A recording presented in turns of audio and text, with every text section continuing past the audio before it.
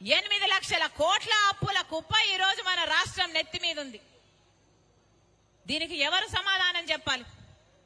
రాజశేఖర్ రెడ్డి గారు బ్రతికున్నప్పుడు రాజశేఖర్ రెడ్డి గారు ప్రజల మనిషి ప్రజల మధ్యలో బ్రతికిన మనిషి. ప్రజలకు ఏ కష్టం వస్తే అక్కడికి ఉరుక్కుంటూ వెళ్ళే రాజశేఖర్ రెడ్డి గారు. ఆఖరికి రాజశేఖర్ రెడ్డి గారు చనిపోయింది కూడా ఎలా చనిపోయారు?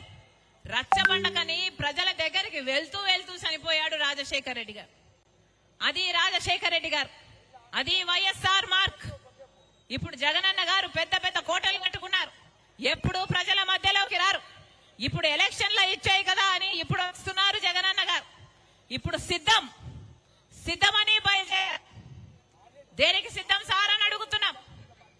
మళ్ళీ ఎనిమిది లక్షల కోట్ల అప్పు చేయడానికి మీరు సిద్ధమా?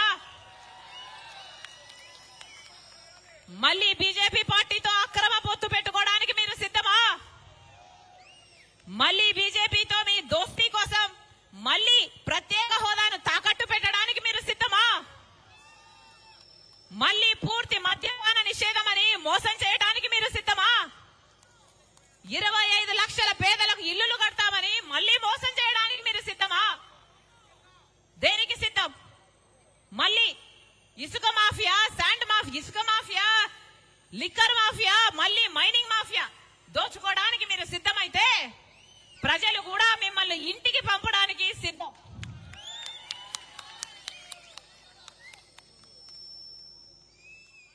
మళ్ళీ చెప్తున్నాం మళ్ళీ చెప్తున్నాం.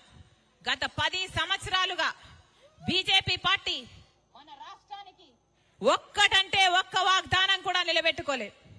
ప్రత్యేక హోదా అన్నది మన రాష్ట్రానికి సంజీవిని లాంటిది. పది సంవత్సరాలైంది. కనీసం ఇప్పుడు మాట కూడా మాట్లాడడం లేదు. మొన్నటి వరకు జగనన్న గారు మాకు మెజారిటీ వాళ్ళకు మెజారిటీ తక్కువ వస్తే మేము డిమాండ్ చేసాం చేసేవాళ్ళము అంటు అన్నారు. ఇప్పుడేమో వాళ్ళకి ఇప్పుడు మూడు వందల యాభై సీట్లు వస్తాయి. ఇప్పుడు డిమాండ్ చేసే పరిస్థితి కూడా ఉండదు అంటున్నారు. అంటే అలా అసలు ఎలక్షన్లు కాకముందే బీజేపీ గెలిచేసినట్టు చేతులు ఎత్తేసినట్టు అసలు ఇంకా ప్రత్యేక హోదా ఎప్పుడూ రానట్టు మాట్లాడుతున్నారంటే ఇక వీళ్ళ నాయకులు. వీళ్ళ తెచ్చేది ప్రత్యేక హోదా. వీళ్ళ వల్ల అవుతుందా? తేవడం ప్రత్యేక హోదా అంతకుముందు ఐదు సంవత్సరాలు చంద్రబాబు ముఖ్యమంత్రిగా ఉన్నారు చేతనైందా చంద్రబాబు గారికి ప్రత్యేక హోదా తేవడం ఇప్పుడు జగనన్న గారు ఐదు సంవత్సరాలుగా ముఖ్యమంత్రిగా ఉన్నారు. ఏం పీక్కున్నారు? ఏం చేశారు?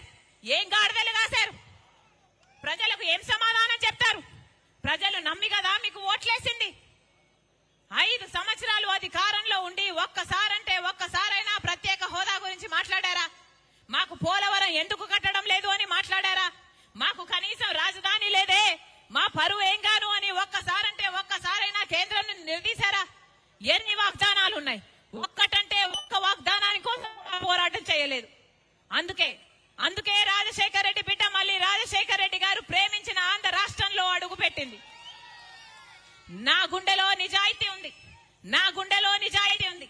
నా పుట్టింటికి మేలు చెయ్యాలి అన్న తప నాలో ఉంది అందుకే ఆంధ్ర రాష్ట్రాలలో అడుగుపెట్టింది రాజశేఖర రెడ్డి బిడ్డ పోలవరం ప్రాజెక్టు వచ్చేంత వరకు కొట్లాడతాం స్పెషల్ స్టేటస్ వచ్చేంత వరకు కొట్లాడతాం రాజధాని సాకారం అయ్యేంత వరకు కొట్లాడతాం ఆంధ్ర రాష్ట్ర ప్రజలకి అయిన హక్కు అయిన ప్రతి వాగ్దానము నిలబెట్టుకునేంత వరకు రాజశేఖర రెడ్డి బిడ్డ ఇక్కడ నుంచి కదిలేది కాదు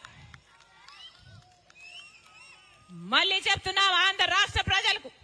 మళ్ళీ హెచ్చరిస్తున్నాం ఆంధ్ర రాష్ట్ర ప్రజలను?